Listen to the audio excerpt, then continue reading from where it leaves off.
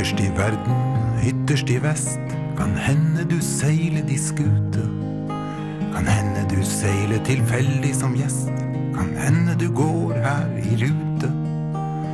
Uansett trenger du et punkt som er fast, der du frakter de skjøre last. Det er nok at det står der og brenner, en trofast, gammel venn. Har du fyr? Har du løkte langs din vei? Har du fyr? Et signal om riktig lei? Ei lampe som gløder i mørket og loser deg ut og frem.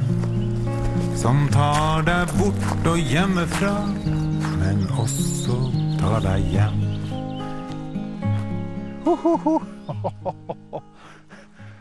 Det var noen som ville at jeg skulle skrive en sang om et spesielt fyr, faktisk.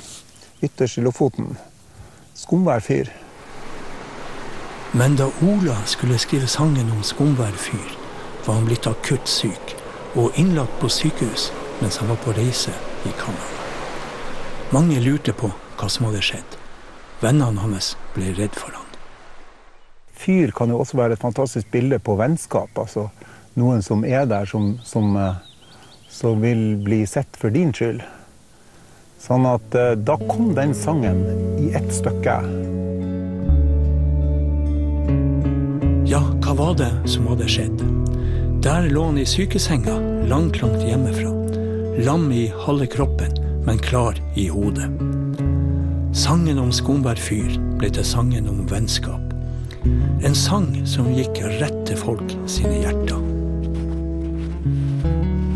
Dette skjedde for mange år siden, og siden da har Ola fått enda flere venner.